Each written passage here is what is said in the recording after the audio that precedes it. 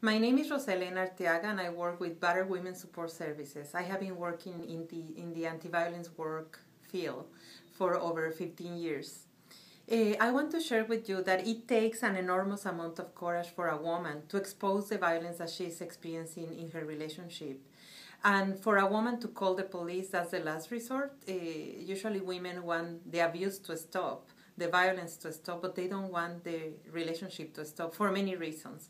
And some of the reason can be keeping the family together, being ostracized from their own communities, uh, having children who can be affected by this.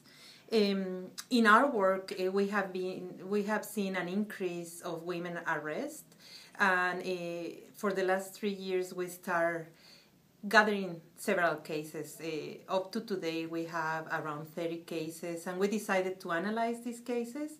In a lot of the cases, the partner was the one who called the police.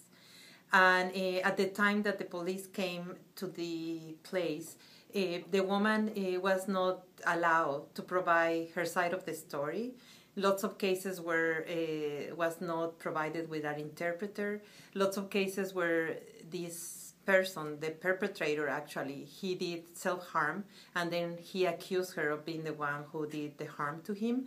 Um, in all these cases, the criminal justice system saw her just as a perpetrator and they didn't analyze the history of abuse, dynamics of violence, who has the power in the relationship.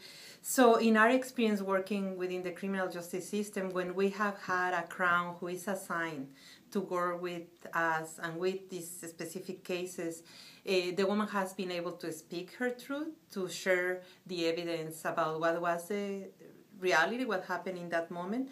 So in those cases, uh, the charges were dropped. But unfortunately, this has been exceptions. Um, we have many cases where the woman is seen as the perpetrator. She's not able to expose how she ended in that situation and then uh, she carries that towards family court when she has to deal with custody and access.